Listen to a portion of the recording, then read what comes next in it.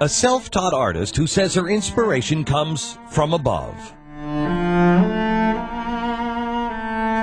Paintings that are spiritual, emotional, and created by a 12 year old prodigy. This painting is called Father Forgive Them. I've completed this painting at the age of nine. Her name is Akiane. She picked up the brush when she was just six years old, but the visions, what she calls inspiration from God, started when she was just four. The first time when she came to me, I knew it was real to her what she was saying, and the visions of God and things she had seen, places that she has visited.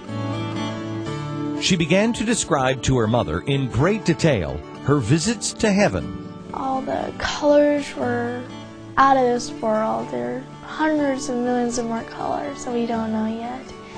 And the flowers were crystal clear. Her mother, remarkably, was an atheist. The concept of God never discussed in their home.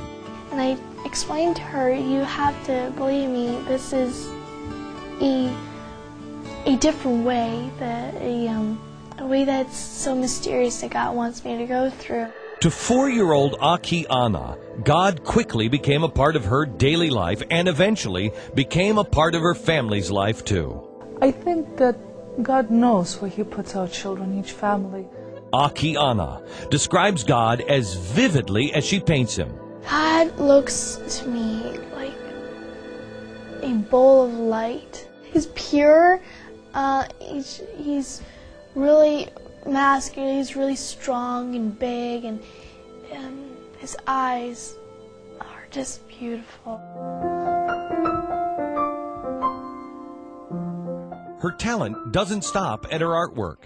Only a few months ago, she decided to learn the piano.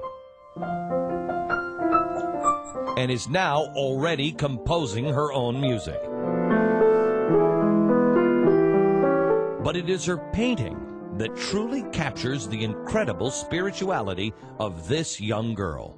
The visions, to me, I felt it was like he's explaining himself to me and what he does to this world. She is a self taught painter, and as she grows older, her paintings grow more expressive,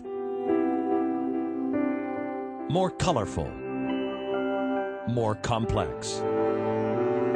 A girl who, armed only with a brush and some paints, is determined to capture the essence of her faith and hopefully, along the way, inspire others to feel the same way.